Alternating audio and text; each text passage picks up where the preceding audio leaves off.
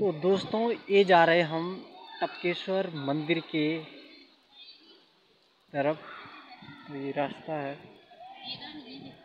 और बहुत ही अच्छी व्यवस्था कर रखी है यहाँ पर और जगह जगह गमले लगाए गए हैं।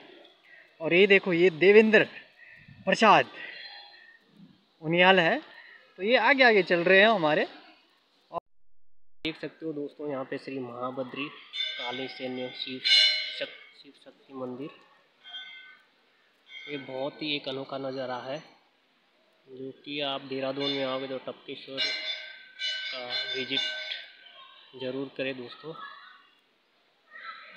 यहाँ पे एक पुल भी है बीच में, जो ब्रिज है। इसके नीचे ये नदी है छोटी सी आसन नदी। बहती हुई। ये दोस्तों लिफ्ट भी है उधर। ये जो ऊपर दिखाई दे रही लिफ्ट है। यहाँ से आगे मेन मंदिर है ये। आगे की ओर बिल्कुल गुफा में मेन मंदिर है और ये हम नदी के इस पार है। यहाँ पे भगवान हनुमान जी की मूर्ति भी है। और ये आगे से ये नज़ारा है। बहुत सुकून मिलता है दोस्तों ऐसी जगह आके। आसन नदी, जो कि टोंस नदी की एक सहायक नदी भी है, ये काफ़ी दूर से आती है दोस्तों, यहाँ पे देख सकते हो आप। दोनों तरफ़ टपकेश्वर के मंदिर बने हुए हैं। और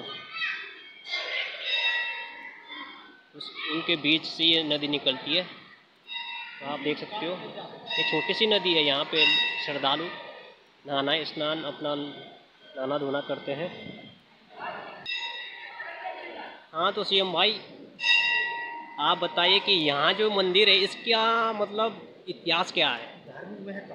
धार्मिक महत्व और यहाँ की मान्यता की गुफा में यहाँ से अंदर जाती है और इसके अंदर वैसे तो इधर पूरी नदी के किनारे किनारे गुफाएँ हैं लेकिन जो मुख्य टपकेश्वर गुफा बोलते हैं उसके अंदर है जो कि बाद में आपको दिखाएँगे। और इसका धार्मिक महत्व भी है अपना। तो भारत में महाभारत की जो कथा है, उससे इसको लोग जोड़ते हैं या हमारे धार्मिक जो ग्रंथ है, वह बताते हैं कि इस स्थान पर और उनकी पत्नी कल्याणी निवास करते थे और यहीं पर अश्वस्थामा जी का जन्म हुआ था। और जब उनका जन्म हुआ तो जो उनकी माता थी कल्याणी तो उस समय उनके लिए दूध दूध नहीं हो पाया। हाँ दूध की व्यवस्था नहीं हो पाई। और जो द्रोणाचार्य हैं द्रोणाचार्य भी इतने निर्धन थे उस समय। उस समय वो पांडवों और कौरवों को पढ़ाने का कार्य नहीं करते थे तो इसलिए वो बहुत गरीब थे। गरीब थे तो इस इस वजह से क्या हुआ कि जो दूध का संकट है वो बहुत बहुत हो गया था। तो उस समय अश्वस्थामा ने भगवान शिव भगवान से प्रार्थना की और शिव भगवान ने शिवलिंग के माध्यम से अश्वस्थामा को दूध दिया और उसी समय से इसकी महत्व और भी बढ़ जाती है और जो हम अंदर देख सकते हैं कि कैसे टपकता है यहाँ से पानी। तो दोस्तों आगे आ, आगे हम दिखाते हैं आपको कि आगे है क्या है यहाँ पे। तो दोस्तों हम अंदर प्रवेश कर चुके हैं मंदिर के। ये है यहाँ का द्वार। यहाँ पे सीढ़ियाँ हैं और यहाँ की लाइट व्यवस्था। देख सकते हो दोस्तों, यहाँ पे श्रद्धालु मतलब आज कल कम मात्रा में, शिवरात्रि में यहाँ पे दर्शन इतनी आसानी से नहीं हो पाते। देख सक, देख सकते हो दोस्तों, ये पूरा एक महाभारत का टाइम का पूरा नज़ारा है। तो दोस्तों, नंदी जी है हमारे। यहाँ पुजारी गण रहते हैं। प्रवेश कर चुके हैं मंदिर के। ये सी एम भाई है। देख सकते हो आप। टपकेश्वर। फ़ोटो खींचने अलाउ नहीं है? कौन बोल रहा?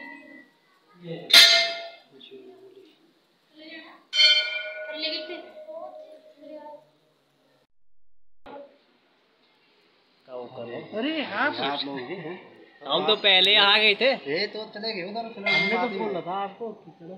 इकोनॉमिक्स है उत्तराखंड की इकोनॉमिक्स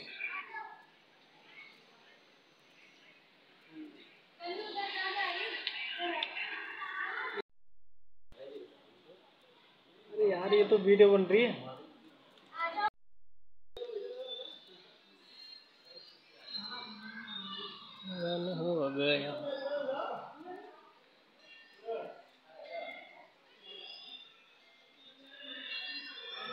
और माता वैष्णो देवी गुफा योग मंदिर। डीजे डूजे की व्यवस्था भी देखो दोस्तों। कबूतर का घोंसला। यहाँ पे कनकड़ में शिव शंकर है, कहीं पे कबूतर है तो कहीं पे विराजमान है।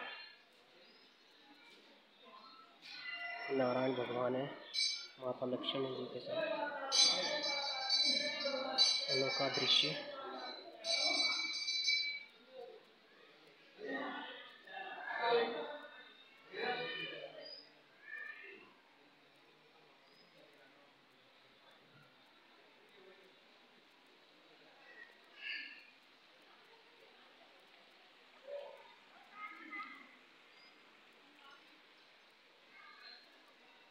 देख सकते हो दोस्तों।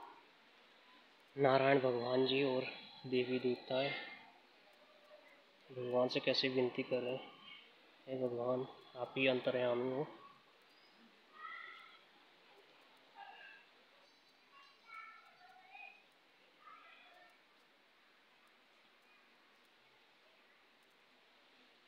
ये दोस्तों, बीच में ब्रिज भी पड़ता है यहाँ पे।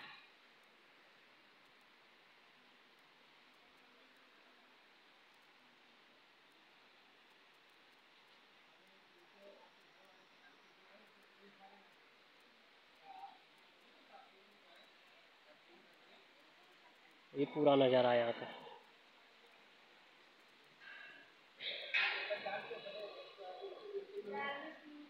इनके मम्मी पापा जी मम्मी पापा जाते